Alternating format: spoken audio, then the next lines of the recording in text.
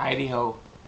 Alright, so I'm gonna do this song, and uh, it's a good song, you know, because it's Weird Al stuff is just so awesome. You know this. That's why you clicked on it. That's why I'm going to sing it for you. Yes, you. I'm gonna do it just for you. And man, I gotta stop drinking before I do these things. All right. Anyway, okie dokie.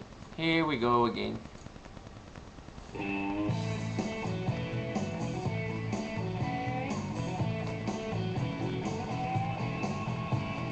You can torture me with Donnie and Marie. You can play some Barry Manilow. Or you can play some schlock like New Kids on the Block. Or any Village People song you know. Or play Vanilla Ice. Hey, you can play 'em twice. And you can play the Bee Gees any day. But Mr. DJ, please, I'm begging on my knees. I just can't take no more of Billy Ray. Don't play that song, that achy breaky song, the most annoying song I know. And if you play that song, that achy breaky song, I might blow up my radio. Ooh.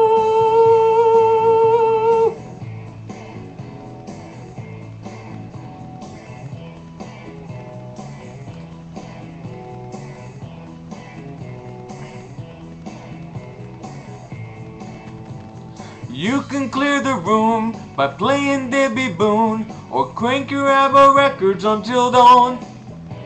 Or I could even hear Slim Whitman or Zamfir. Don't mind a Yoko Ono marathon.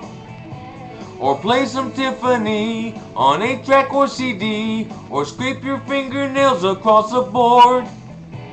Or tie me to a chair and kick me down the stairs. Just don't play this stupid song no more. Don't play that song, that achy breaky song. You know I hate that song so much. And if you play that song, that nauseating song, it might just make me lose my lunch.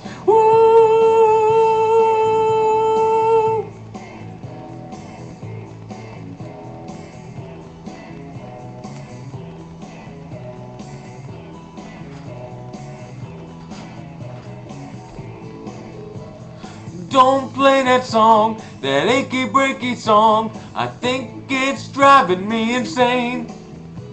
Oh, please don't play that song, that irritating song. I'd rather have a pitchfork in my brain. Don't play that song, that achy breaky song, the most annoying song I know. And if you play that song, that achy breaky song, I might blow up my radio.